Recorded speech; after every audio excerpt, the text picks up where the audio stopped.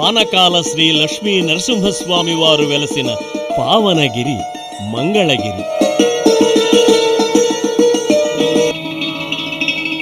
శ్రీవారి గర్భాలయం ముందు విశాలమైన ముఖమండపం నిర్మించబడి ఉంది. గర్భాలయ వాకిళ్ళకు బంగారు రేకుల తాపడం చేయబడ్డాయి. వీటిపై దశావతారాలను శిల్పించారు. ద్వారబంధం పైభాగంలో గజలక్ష్మీదేవి చిత్రం ఉంది. ద్వారంపై ఉన్న గజలక్ష్మి భక్తులకు సకల సంపదలను ప్రసాదిస్తుంది. ఈ గర్భాలయంలో పానకాలను స్వీకరిస్తూ శ్రీ నారసింహస్వామి భక్తులకు దర్శనమిస్తారు. ప్రతిరోజు మధ్యాహ్నం పన్నెండు గంటల వరకు భక్తాదులు వారి మృక్కుబడుల ప్రకారం బిందెలతో స్వామివారికి పానకాన్ని నివేదించుకుంటారు. పానకం త్రాగడం పట్ల ప్రీతి కలవాడగుటచే శ్రీ స్వామివారిని పానకాల రాయుడని భక్తులు పిలుస్తారు. భక్తులు బిందెలతో తెచ్చిన పానకాన్ని అర్చక స్వాములు స్వామివారి గళల్లోకి ధారగా పోస్తారు. స్వామివారు పానకాన్ని గుటక వేసిన శబ్దం కూడా మనకు వినిపిస్తుంది. ఆ శబ్దాన్ని విని స్వామివారు సంతుష్టి చెందినట్లుగా భావిస్తారు భక్తులు. ఆ తరువాత ఎంత పానకం పోసినా వెనక్కి తిరిగి వస్తుంది. దీనిని భక్తులు మహాప్రసాదంగా భావించి స్వీకరిస్తారు.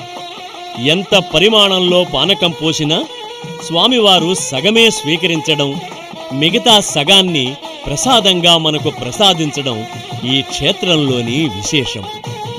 బెల్లం నీరు కొన్ని సుగంధ ద్రవ్యాల మిశ్రమంగా తయారు చేయబడిన ఈ పానకం ఈ ప్రాంతమంతా చల్లబడి ఉన్న ఒక్క చీమ గాని ఈగ గాని ఈ కొండపై కనిపించకపోవడం ఒక విచిత్రం. అందువల్లనే ఈ ఆలయానికి శ్రీ పానకాల నరసింహస్వామి వారి ఆలయంగా పేరు వచ్చింది. కొందరు ఈ మంగళగిరిని అగ్నిపర్వతమని అందులోని అగ్నిని ఉపశమింప చేయడానికి శ్రీ నారసింహస్వామి వారు ప్రీతి వ్యాజంలో పానకం నైవేద్యంగా సమర్పించే సంప్రదాయం ఏర్పడిందని అంటారు. త్రేతాయుగంలో శ్రీరామచంద్రుడు ద్వాపర యుగంలో పాండవులు ఈ క్షేత్రాన్ని దర్శించినట్లుగా పురాణవాన్మయం మనకు తెలియజేస్తోంది. పాండవులు ఈ క్షేత్రాన్ని దర్శించిన సమయంలో భీమసేనుడు ఇక్కడ ఈ ఏకశిలా స్తంభాన్ని ప్రతిష్ఠించినట్లుగా స్థల పురాణం తెలియజేస్తుంది. ఇది శ్రీ రాజ్యలక్ష్మి అమ్మవారి సన్నిధి. అరివీర భయంకరుడైన నారసింహుని శాంతింపజేసి భక్తలోలునిగా ఆశ్రిత ప్రసన్నుడిగా మార్చిన శ్రీ మహాలక్ష్మిని ఇక్కడ శ్రీ రాజ్యలక్ష్మీదేవి వారుగా అవతరించి భక్తుల పూజాధికాలు అందుకుంటున్నారు. మధురాష్టకాన్ని రచించిన మహానుభావుడు శ్రీ వల్లభాచార్యులు. ఆయన సన్నిధే ఇది. శ్రీ నారసింహస్వామి వారిని అర్చించి తరించిన ఆ మహనీయుని సన్నిధిని మనం ఇక్కడ దర్శించవచ్చు. ఈ పరిసరాల్లోనే ఒక బిల మార్గం మనకు దర్శనమిస్తుంది. ఈ బిల మార్గం కృష్ణానదీ తీరాన ఉన్న ఉండవల్లి గుహల వరకు వ్యాపించి ఉందని పెద్దలు చెబుతారు.